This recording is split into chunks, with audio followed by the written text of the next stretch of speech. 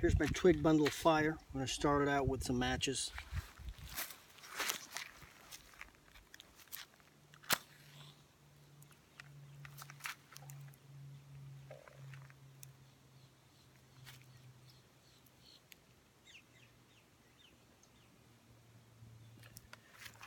There goes.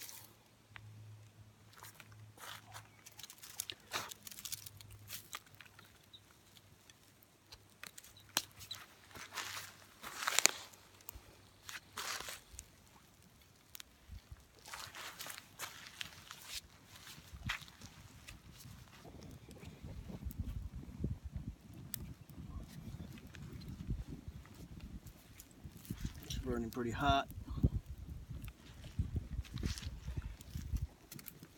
Add some more, a little bit thicker.